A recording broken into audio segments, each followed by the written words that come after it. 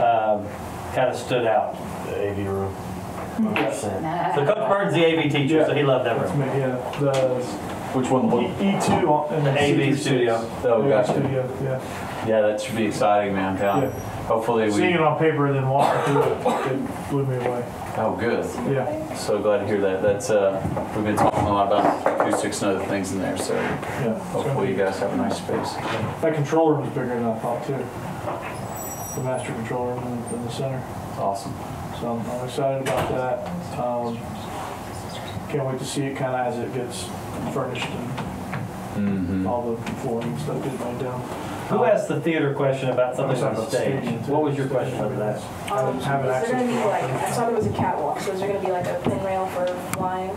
There is. Yeah, no, there's a full flat loft. Um, one thing that uh, Metro really wanted to make sure happened on this school for theater specifically was that we had a full fly.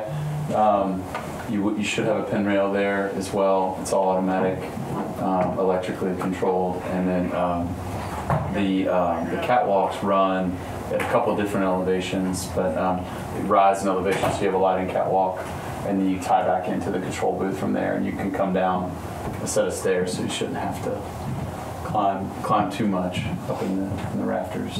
But we're really excited about the theater. You'll have good. The, I, I don't know if you saw them, but there's those huge roll-up doors. So from your um, from the uh, theater workshop, you can just reel straight in. Sets can, can fly up above proscenium, so should be Yes. different experience.